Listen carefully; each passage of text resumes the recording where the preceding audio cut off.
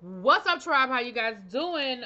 Go ahead and hit that subscribe button, and I hope you like this video. This is going to be your retro review of The Real Housewives of New Jersey, Season 2, Episode 15. We are almost done. There's one more episode after this, and then the two-part reunion, and then we'll be in Season 3.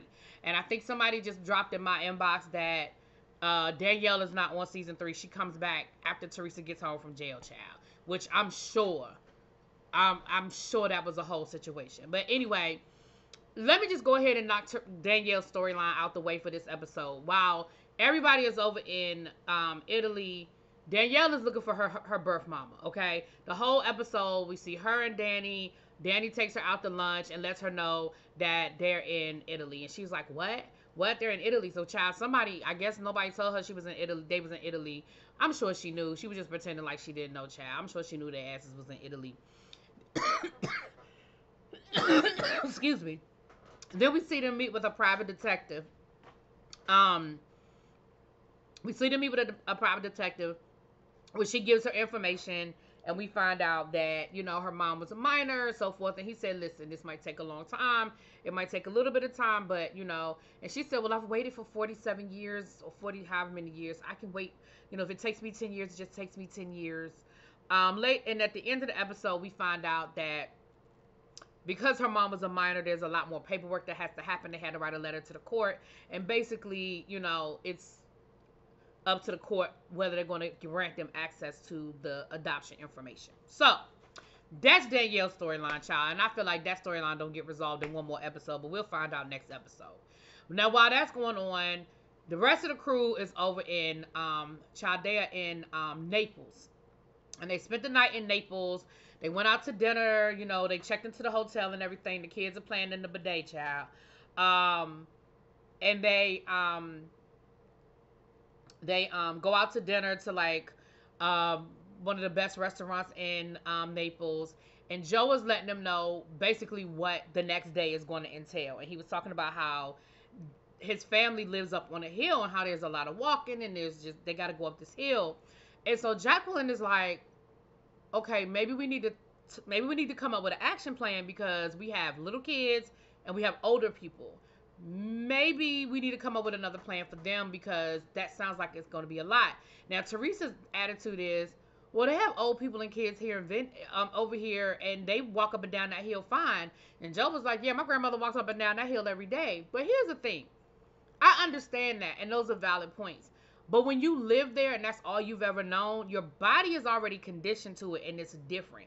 Your grandmother walking up and down that hill, because she been walking up and down that hill her whole life. She don't know no different.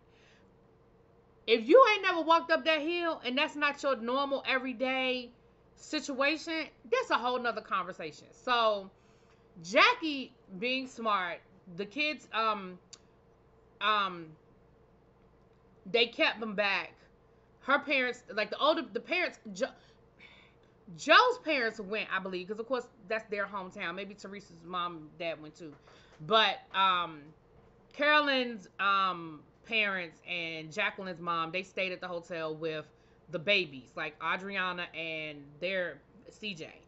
Uh, not CJ, but they're they're younger. I think it's Dylan. I don't know. Baby, Joe got on that bus that next day, and baby, he was complaining about that bill. That bill was like twenty two hundred dollars. He said between the three rooms and the the mini bar and the drinks and uh, baby, when I say he complained and he complained and he complained, and listen, from my experience, and I've been guilty. When you complain that much about a bill, that's because you spent more than you thought you was gonna spend, or more than you wanted to spend, or more than you should have spent. And again, remember that's been this whole running thing for the last couple of episodes about Joe and his money flow. Baby, when I say he complained about that bill, I mean, of course, the way they edited it, it looked like he complained forever. Um, but to the point where it probably made the whole bus uncomfortable. Because you're literally sitting there listening to this man complain about the hotel bill in front of his parents who he covered their bill, Teresa's parents. Like, I'm sure it made everybody uncomfortable. But anyway, they riding on this bus, child. Then they get as far as the bus will take them, and they have to walk. And again, with editing, I don't know how long they was walking, but I feel like they was walking for about an hour. Okay, and Teresa got on heels. Everybody else got on flats, sneakers, whatever. They got a stroller. They pushing this stroller up this hill. Um, but they finally get to the top of the hill, child.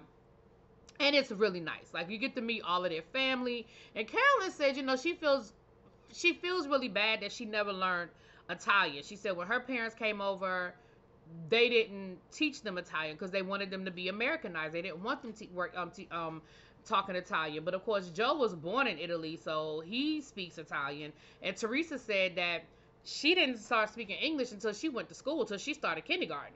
So she speaks Italian. Um, and so I think Carolyn feels feels a little out of place because it's like I'm, you know, this is my heritage too, but I don't, I'm not as connected as they are. I think that might be a little how she felt. Um, but it was a good time. They met a lot of people, child. They was hugging and kissing, kissing and hugging, hugging and kissing. It was a beautiful views. They were at the top of this mountain.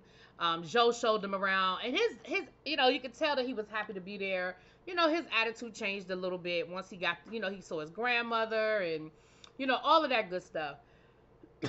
so they had a great time, right? They had a really good time. Um, and then later on that night, they had a dinner where Teresa, being Teresa Child, got all the babies because because of course eh, um, Audriana didn't walk to the top of the hill. I mean, she was an infant. She didn't go to the top of the hill. So they had dinner for everybody that night, where um, Teresa had all the girls in these color coordinated dresses, with everybody uh, for her family to be able to meet Audriana. Um, and it was nice. I mean, they definitely had a good time, and they talked about how they were family, they were bonded. You know, this experience bonded them, how they were family now. And I hate again. I don't know what happened. Don't spoil it for me, y'all. I don't know why they fell out, but seeing this, I feel bad that they fell out. I mean, Carolyn even said, "I will protect this bond. Like this is a bond, and I will protect it to the end."